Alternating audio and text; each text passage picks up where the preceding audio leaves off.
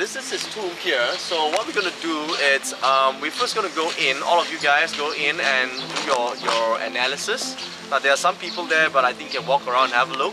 So this is um, Chiang Kai-shek's son, uh, which is he also took over the uh, as the president of, of Taiwan.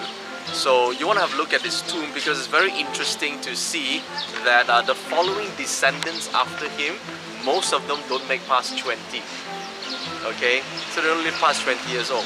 So you want to have a look at this tomb itself and see what you can find. Now before you go in to look at formations, most of the time you can't do the feng shui inside. You can't see much, you just see whatever is inside, right? You gotta see where the chi come from, look at the entire environment itself. So by coming in, you know that's northwest. The first thing you want to observe is what's on the outside, okay? So do we actually see an incoming mountain from the northwest? Now we have to observe one of the most important things. Look at the formation itself. So we can't see the formation from just the in, the outside right here. Frontage we don't know. How about the back? You see when you do the feng shui for this place, the most important thing you must always remember in feng shui, we always start from the outside. Okay? We don't go right inside. Go inside, see nothing.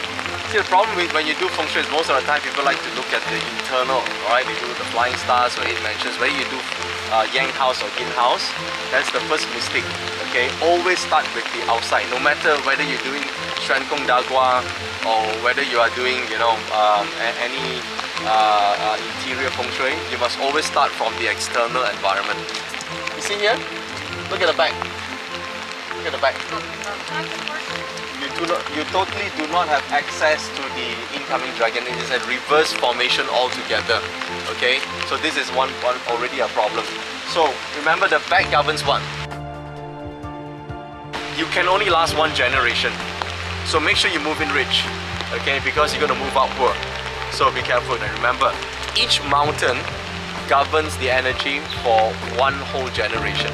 Now, if you were to use this place, okay, let's say if you were to use this feng shui, right? How would you have used this feng shui? How would you use it? Green dragon will cross the bright hall and the white tiger, this one here, will cross to the front. Okay, so effectively what you will have, effectively what you have is both arms, left and right embrace. Okay, if you see here, this is the right embrace, this is left embrace, and in the, in the front will be your bright hall. Can you see that? What formula is that? It's a graveyard direction. You just studied that in, in, in module 3, remember? Okay? Exiting graveyard, is it good? Yeah. It's perfect. Okay? But now you're facing the opposite. What happens? Graveyard water is supposed to extend all the sha chi out, isn't it? Now you're facing the opposite. You have reversed that formation. That's not good.